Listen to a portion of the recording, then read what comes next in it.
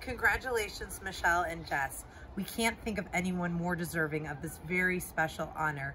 You have opened your home to us. You've opened your heart to us. Uh, you're the best example we could possibly think of of Hachnasas Orchim.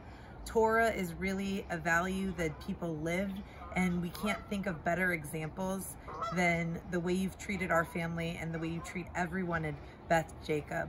Congratulations.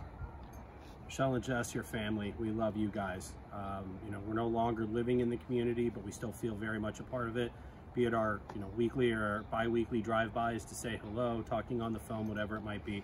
We love you guys. You truly deserve this honor. Thank you for including us in this. Mazel tov. Mazel tov.